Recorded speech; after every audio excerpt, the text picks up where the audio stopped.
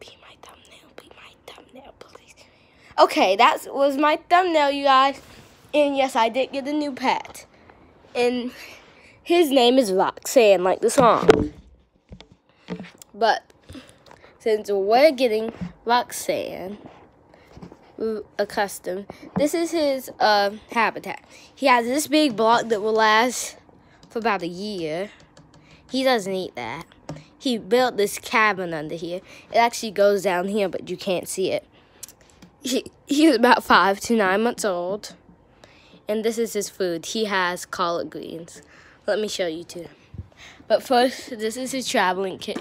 Coop can't hold it because she made him throw it once. But um, he pooped on my favorite clothing. So let's go. Draco is in the cage right now. Cause, uh, cause he hasn't got out yet. But I'll show you guys Roxanne's food.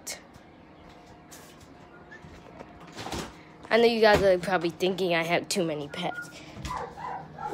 But, uh, oh, God. Well, Roxanne's food wanted to show herself. Because this is his collard greens. No, these aren't his.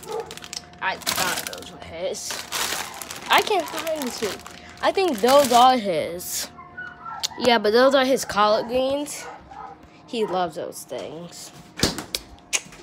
He'll eat them like, God. But Roxanne is a boy. He's a male. Bye. But I hope you guys meet Roxanne. I hope one day you guys actually get accustomed to Roxanne. Bye.